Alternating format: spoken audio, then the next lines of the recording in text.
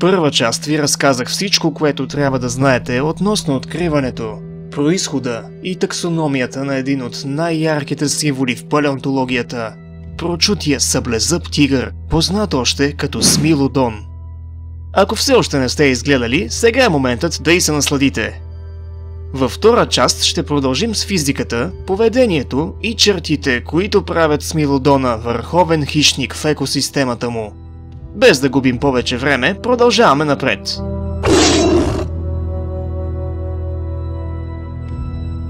Един бърз поглед върху физиката на съблезъбия тигър веднага разкрива защо тази група се различава толкова от която и да е съвременна голяма котка. Естествено, първото нещо, което прави впечатление, са издължените извити кучешки зъби, с които смилодонът безспорно е най-известен. Достигащи до 28 см, те надминават по дължина тези на всички останали котки. Тези внушителни саби всъщност били странично сплеснати и усеяни с финни нарези отгоре до долу. Въпреки тази тяхна без съмнение уникална черта, зъбите не са единственото, което отличава тази група котки от останалите. Характерни при тях са масивните предни крайници, в сравнение с редуцираните задни части. Поради това стойката им е наподобявала повече тази на хиена, отколкото на лъв или тигър. Мускулите на шията, както и тези на предните крайници, били силно развити – Областта на гръбнака била силно скъсена, като същото изненадващо въжи и за опашката, която наподобявала тази при рисовете и не е играла значителна роля при придвижването. Един от аспектите на смилодона, за който по-рядко се говори, е предполагаемата му окраска. Въпреки, че за някои праисторически представители на големите котки има преки доказателства за това, при смилодона и роднините му такива за жалост липсват.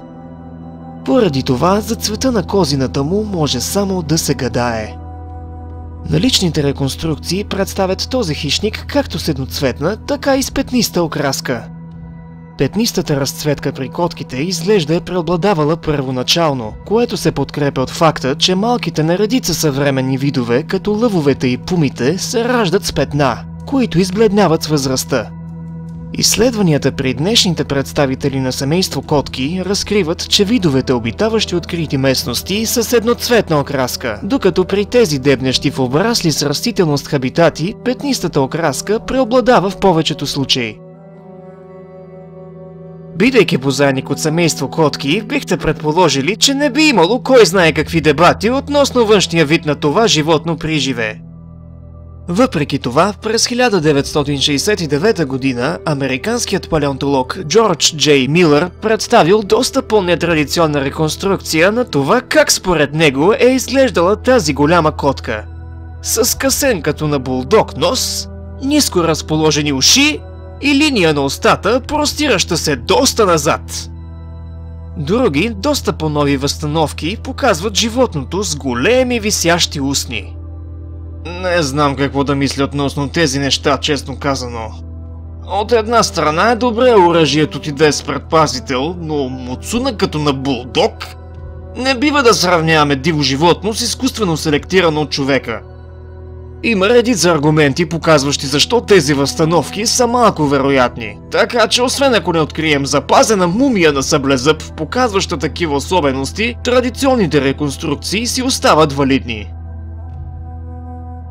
И на последно място, през последните седмици на няколко кътчета в интернет циркулира особено интригуваща нова информация, която, ако е правилна, би допринесла неимоверно за разбиранията ни за тези праисторически хищници.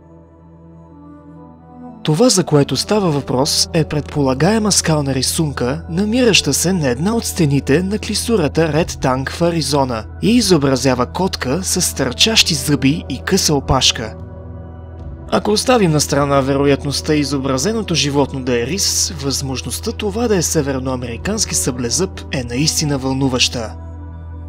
Това би доказало, че смилодонът е бил с петниста окраска и с бакенбарди от страни на лицето, подобно на риса. Което би означавало, че съблезъб рис би било по-подходящо име предвид този му външен вид. За сега този интригуващ петроглиф все още не е описан в научна публикация, затова приемете тази информация с щипка скептицизъм.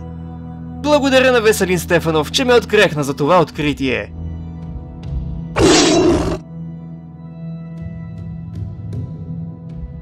Ето, че стигнахме до най-вълнуващата част, която всички сте чакали, а именно ловуването и приложението на страшните саби. Преди да преминем към същината на въпроса обаче, е добре първо да хвърлим един бърз поглед върху екологията и местообитанието на Смилодона. Своята среда съблезъбите са споделяли с богат асортимент от жертви, някои от които също са изчезнали днес. Изотопни изследвания върху костите на трите вида съблезъби разкриват техните вкусови предпочитания. Грацилис е ловувал основно древните предци на съвременните пекарита, както и подобната на лама хемиохения. Неговият поедър братовчет Фаталис е нападал преживни животни, като древния бизон Антиквус, камили, както и горски видове, като тапири и елени. Тук вероятно е моментът да спомена за това, за което намекнах в първа част, а именно най-прочутото находище на фусили от Смилодон.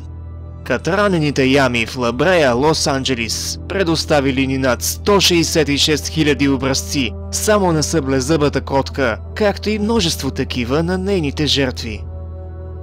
Тези асфалтови находища са изпълнявали функцията на своеобразни природни капани, където едри тревопасни са затъвали безнадежно, привличайки голям брой хищници, които на своя ред са намирали гибелта си в лепкавия катран. А сега е време да си припомните и за споменатия от мен в първа част Панамски провлак. Неговото образуване преди около 4 милиона години белязало началото на свързването на Южна с Северна Америка след милиони години изолация. Това, което последвало, били масови миграции на видове от север на юг и обратно. Представете си нещо като великото преселение на народите от часовете по история, само че с животни – когато смилодонът мигрирал на юг, той се сблъскал с невиждани до момента необичайни видове, сред които макрохенията, токсодонът, земният ленивец катоникс и бронираните глиптодонти. Макар и ново пристигнал, грамадният хищник с лекота се издигнал на върха на хранителната пирамида, специализирайки се за лов както в гористи, така и в открити местности – за да се справя с всички тези потенциални жертви, милионите години проба и грешка били създали съвършения убиец, притежаващ необходимите способи, за да осигурява своето препитание. Фусилите с добре запазена черепна кухина позволяват на учените да изследват формата и устройството на мозъка, някога разполагал се в нея – а този на Смилодона показва, че сетивата му, както и координацията на крайниците са били сходни с тези на съвременните котки. За разлика от тях обаче, очите му са били относително малки и по-раздалечени едно от друго – Дългите кости на петата му позволявали да скача с лекота, а напречен разрез на раменната кост показва, че е била толкова дебелена, че му е позволявала да понася повече натиски напрежение, отколкото съвременните големи котки. Мощните мускули, залавели се за тези кости, били добре развити и помагали при изграбчването, задържането и повалянето на плячката – това обаче от своя страна, както и съотношението между предните и задните крайници и късата опашка, значително са ограничавали маневреността и максималната скорост, която смилодонът е можел да достига. Поради това, нападението от засада вероятно е било главният метод, използван от този хищник – Разбира се, стана ли дума за изкуството на убиването, знаменитите саби на Смилодона несъмнено заемат централното място. Как точно е нанасял смъртоносното ухапване този хищник, дълги години е било обект на дебати. Въпреки впечатляващата им дължина, тези зъби всъщност са били доста крехки и неспособни да прегризват кости. Ето защо голямата котка е трябвало да бъде максимално внимателна и прецизна с тях – първо обездвижвайки напълно жертвата с мощните предни лапи. Поради дължината на кучешките зъби на Смилодона му се е налагало да отваря уста доста по-широко от днешните котки. Конструкцията на челюстите му позволявала да ги разтваря на почти 120 градуса. За сметка на това обаче, захапката на съблезъбия тигър е била значително по-слаба от тази на лъва. Едва една трета от неговата – преди време се е смятало, че хищникът е набелязвал чувствителния корем на жертвата. Неговата извивка обаче би затруднила това. Днес е известно, че отворите в черепа, които приютяват нервите и рецепторите за мустаците, са сравнително по-големи. Това значи, че чувствителността им е била по-голяма, прецизно насочвайки сабите към уязвимото гърло на жертвата. Предните зъби или резците били издадени напред и подредени в дъга. Те служили за захващане и задържане. Сетне сабите се забивали дълбоко в шията на злощастната жертва, преразвайки един или четирите главни кръвоносни съда. Бързо, точно и прецизно. Това разбира се означава и, че след убийството по муцуната и зъбите на хищника е имало много кръв доста повече отколкото при днешните големи котки, чието смъртоносно охапване понякога дори не оставя кървави следи. Въпреки, че титлата му на върховен хищник била неоспорима, Смилодонът не бил единственият убиец в горите и равнините на северо-запада.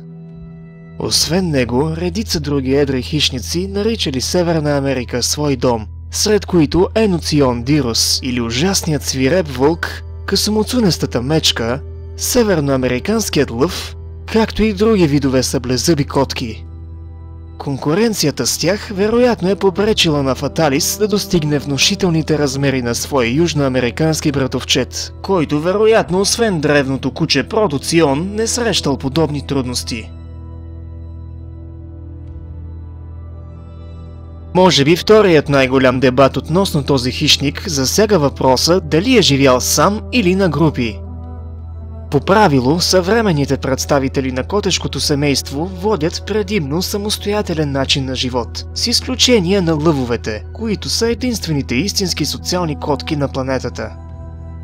Изкушаващо е да си представим прайд съблезъби тигри, ловуващи в група, за да повалят едра плячка като мамут. Но има ли доказателства за подобно поведение? Едно от традиционните схващания е, че размерът на мозъка спрямо тялото е индикатор на интелигентността, а оттам и на сложните когнитивни способности, нужни при социалното поведение. Понеже мозъкът при Смилодона бил пропорционално по-малък, дълги години се е смятало, че просто не е бил достатъчно интелигентен за живот в група. Днес обаче е известно, че обемът на мозъка при тигъра е относително по-голям от този на лъва – Хм, знаех си, че този аргумент звучи твърде симплистично. Друго, доста по-убедително доказателство в полза на социален начин на живот е наличието на зараснали травми по костите на няколко от намерените индивиди. Макар да е известно, че котките в природата са изненадващо устойчиви създания и по принцип умеят сами да се възстановяват от някои доста сериозни травми, някои от уврежданията по костите на съблезъбите са доста по-тежки. Сред тях се откроява един, който изглежда е страдал от дегенеративно ставно заболяване, още от млада възраст и просто няма как да е можел да оцелее, освен ако не е живял в група. Местообитанието на тази голяма котка силно наподобявало африканската савана и това дава основи за сравнение с днешните лъвове – Вместо в харем или в прайд обаче е възможно смилодонът да е живял на малки групи с пораснали малки от предишните години, помагащи на родителите си, главната алфа двойка.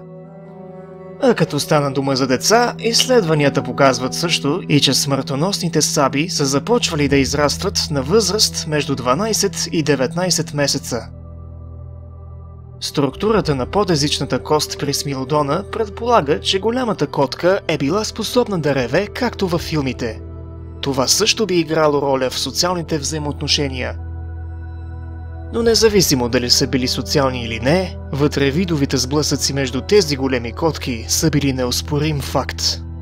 Два запазени черепа от Аржентина носят следи от жестоко и фатално ухапване, чиято елипсовидна форма пасва едно към едно с дългите саби на съперник и показва, че въпреки крехкостта им, съблезъбите понякога са поемали риска.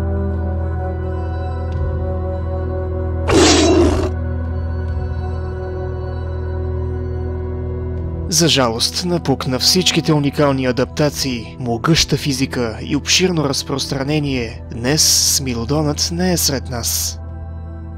Фактът, че никоя от съблезъбите котки не е доживяла до наши дни, на времето е била в основата на твърдението, че са били по-низши и слабо приспособими в сравнение с познатите ни големи котки и поради това изгубили еволюционната надпревара с тях. Някои ранни изследователи са стигали до там, че да винят смъртоносното оборудване на Смилодона за неговото падение. Според тях, с течение на времето, сабите станали толкова дълги, че храненето с тях ставало все по-трудно, което обрекло собствениците им на гибел. Разбира се, днес сме доста сигурни, че такива възгледи са твърде нереалистични и наивни, за да са отговорни за измирането на тези древни котки. Както повечето неща в реалния свят, истинската причина със сигурност е била доста по-сложна и комплексна и вероятно е била под формата на редица фактори, които заедно успели да доведат до изчезването на съблезъбия тигър. Факт е, че в края на последния ледников период, преди около 10 000 години, три четвърти от едрите бозаници на планетата изчезнали от лицето на Земята – Едновременното измиране на толкова много видове за сравнително кратък период от време сочи отчасти към рязка промяна в климата, което на своя ред засегнало местообитанията им и довело до срив на популациите. Това, заедно с появата на невиждан до момента хищник, човекът вероятно е допринесло за изчезването на по-голямата част от плейстоценската мегафауна – Днес споменът за могъщия съблезъб тигър живее в безбройните музейни експозиции, както и в киното и телевизията, от научно-популярните поредици на BBC до свирепия, но с добро сърце Диего от ледена епоха. Макар природата отдавна да е забравила за този импозантен хищник, ние никога няма да го забравим. Виж как припкат, припкат, припкат. Извинявай, балетището!